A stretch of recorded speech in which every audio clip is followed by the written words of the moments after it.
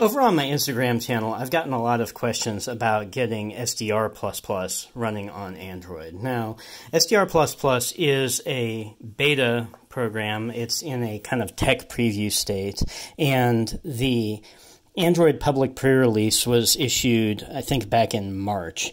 And I'll put a link to this page here which has all the download instructions and what you need to do to get this thing sideloaded. But you have to download the APK and then manually install it.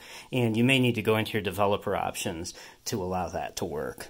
But a couple of things you'll notice once you have it installed and running is the menu is very small. It's very difficult to read. And that's because of the high DPI scaling. So the first thing we need to do is try and click until you get the scroll bar. Once you can latch onto that scroll bar, go towards the bottom and find your display options. And there you can adjust your high DPI scaling to 200%. And it will say restart is required. Uh, it didn't quite take. That's 300. This interface is so hard to use. There we go, 200. And you'll see it says restart required. So we'll go ahead and relaunch the app. The next thing you'll see is the menu is all scrunched over still. So we need to come over here and click on the separator bar.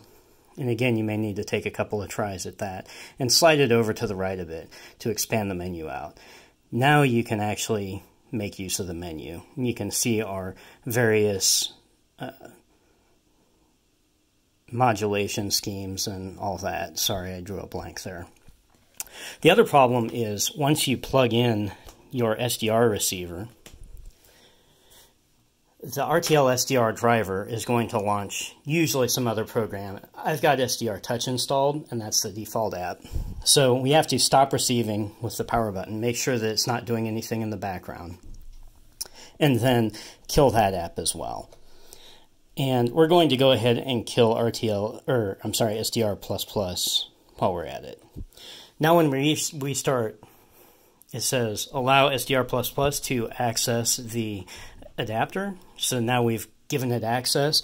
And you can see the source here is RTL SDR, but it's still not showing up in the device list. And that's because we just granted it access, and for whatever reason, it hasn't refreshed its device list. So we'll kill it one more time, and we should see, there it is, RTL SDR dongle USB there in the device list. So now that that's showing up, we should be able to hit play and get SDR. Now we can actually start tuning around and doing the work. The other thing is I found that when I'm navigating SDR++, it's really better to use it in widescreen landscape mode like this because the menu is easier to see and use.